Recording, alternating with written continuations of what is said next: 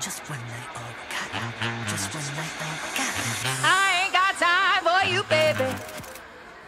ეს არ ჩუა საუკუნეების მეჯლისია და არც ვინმე მოსულა კონკიას მსგავსად სასურველი პრინცის გასაცნობად. თუმცა 21 საუკუნეში არისტოკრატიული საღამოები ბოლო დროს ჩვენს თანამედროვეობაში მოხშირდა. ამას ჟურნალ პომონდის მიერ ორგანიზებული ივენთიც მოწმობს, სადაც მთავარი აქსესუარი ნიღაბი გახლდათ, ხოლო ლოკაციად ოპერისა და ბალეტის თეატრი შეირჩა. სანამ ივენთის შესახებ მოგითხრობთ და გვაინტერესა ქართველი სელებრიტები ცხოვრებაში რამდენად ხშირად ინიღბებიან.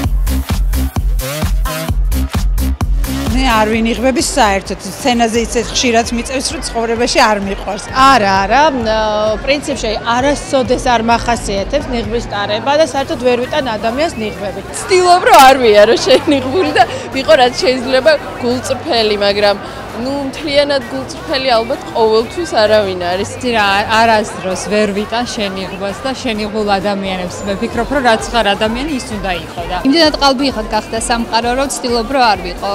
არ მოვიგო ხოლმე ნიღაბი და ვიყო ისეთი როგორც ვარ, თუმცა ეს საზოგადოება ხშირად არიგებს ამას და არ მოსწონ. საღამოზე დარბაზის მთავარ ცენტრში გამოჩენილი კომპოზიტორის ზაქარია ფალიაშვილის მონუმენტი შევნიშნეთ და თითქოს მის და გასაოცრად არა ორკესტრის წევრებთან, არამედ ბომონდურ საზოგადოებასთან მოუწია მასპინძლობა. მოსულ სტუმრებს კი საგულდაგულო დათვალიერებდა, რომლებსაც მეჯლისური საღამოსთვის დრეს კოდი შავი ფერი გაეთვალისწინებინათ და კამერების წინ თამამად პოზირებდნენ.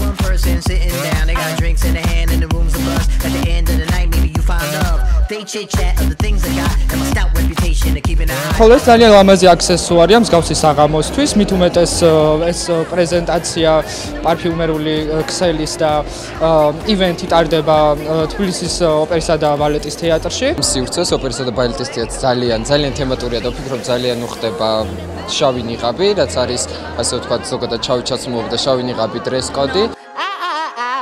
It don't mean a thing საღამო ჟურნალ ბომონდის ორგანიზებით გამართა, რომელმაც ფრანგული ბრენდის ლიერაკის საღამო მოაწყო. შეკრებილმა სტუმრებმა ბრენდის წამყვანი ხაზის პრემიუმის 10 წლის იუბილეიზე იმეს. საქართველოსი კი ლიერაკის ოფიციალური წარმომადგენელი ფარმაცევტული კომპანია GPC გახლავთ. ხოლო ჟურნალ ბომონდის მთავარი რედაქტორი თეა აგლაძე დამსწრეს საზოგადოებას საფრანგეთიდან მიესალმა.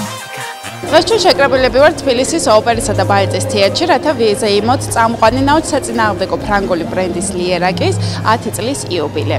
ბრენდი წარმოადგენილია ბაზარზე უკვე 40 წელია, მაგრამ ჩვენ ვზეიმობთ მისი ნაუთ საწინააღმდეგო ხაზის პრემიუმის 10 წელს. ძალიან მოხარულები ვართ და კომპანია GPC ძალიან ამაყია, რომ აქვს შესაძლებლობა საქართველოს ბაზარზე ექსკლუზიურად იყოს ამ ბრენდის წარმომადგენელი.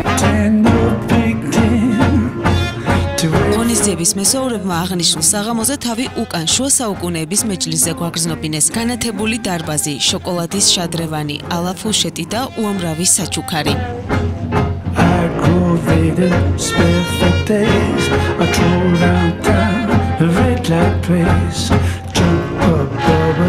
What's in store? Love is the drug and I need the score.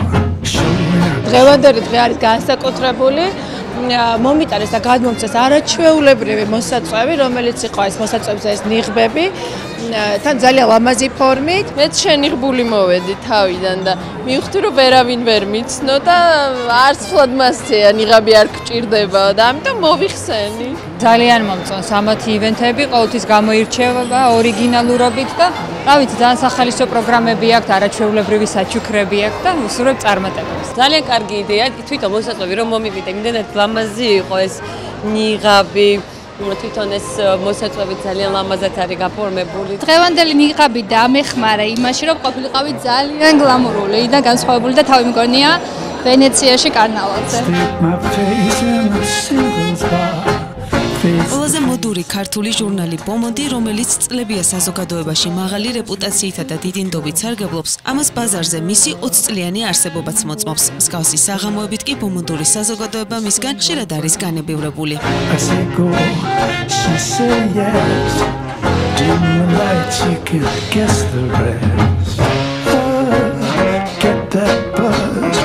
Love is the drug I'm thinking of